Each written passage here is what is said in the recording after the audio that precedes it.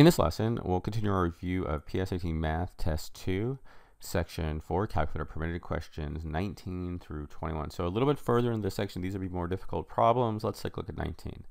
An artist is creating a sculpture using bendable metal rods of equal length. One rod is formed into the shape of a square and another rod into the shape of an equilateral triangle.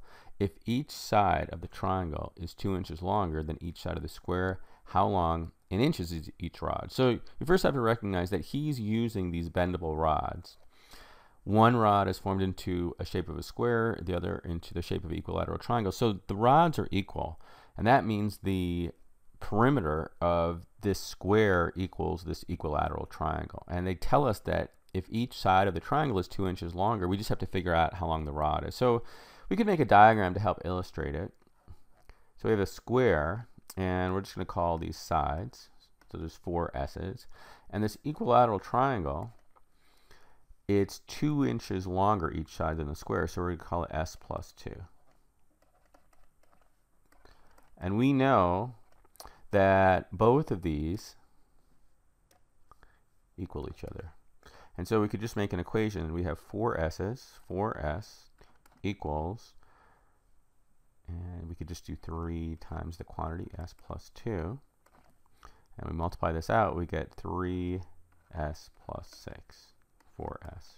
And now we just solve. This is this will get the length of each side. And so we subtract 3s and we get s equals 6. You want to be careful though. s equals 6.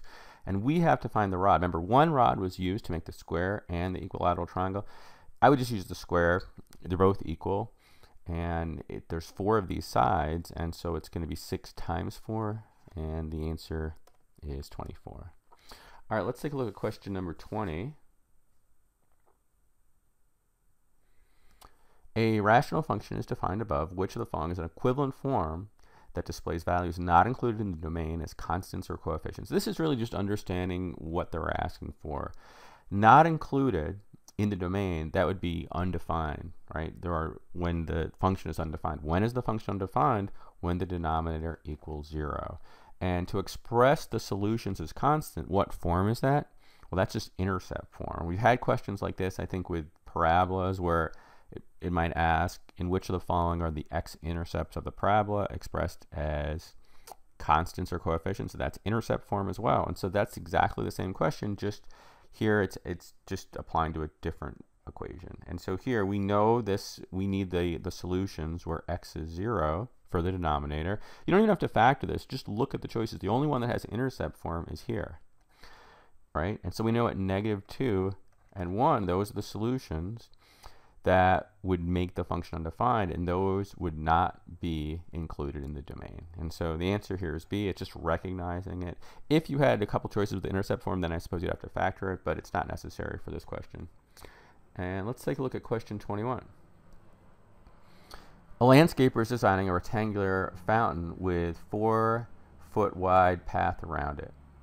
The equation A equals 4p plus 64 will relate to the area A in square feet of the path of, to the perimeter P in feet of the fountain. In the design, how many feet will the perimeter of the fountain increase for each additional square foot of the path's area? So we have a linear equation, A equals 4p plus 64. We know that A is the area, P is the perimeter, and this is a common question where they're giving us a linear equation to a real life application.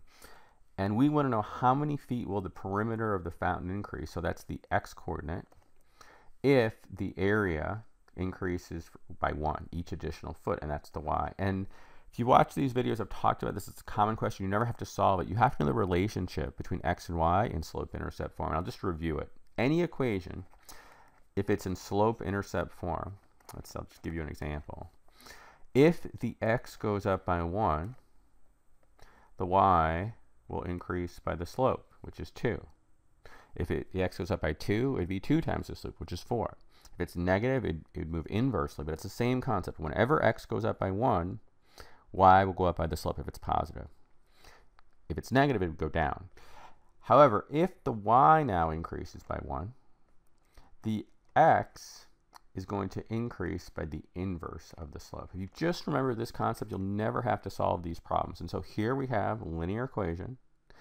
And the question's saying, how many feet will the perimeter increase, that's the x, for each additional foot of the area? So if the y goes up by 1, we know that the x, which is the p, will increase by the inverse of the slope, and that is 1 fourth.